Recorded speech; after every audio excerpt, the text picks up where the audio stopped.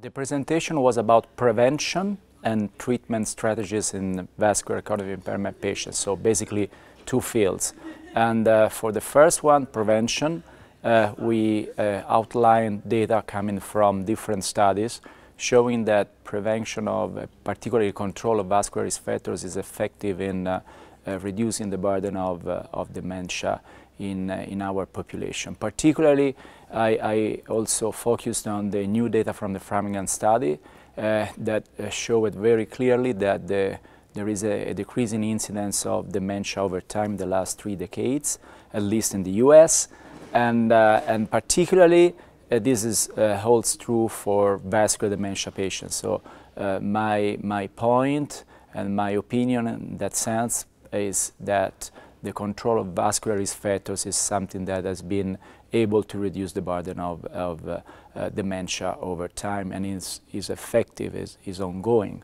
And there are different um, trials and um, uh, population-based studies that show uh, that indeed control of vascular risk factor is effective in reducing the burden of vascular dementia and of dementia in general.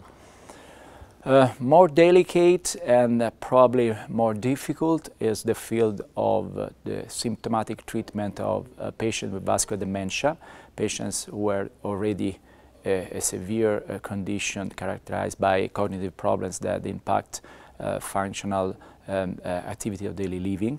Differently from Alzheimer's disease, as I was saying, there are no licensed drugs in, in the field of vascular dementia. However, uh, in my presentation, I show it very clearly that there are indeed uh, some drugs that are effective in the treatment of these patients, even though they are not uh, yet licensed, and also that there are many uh, ongoing important trials in this field.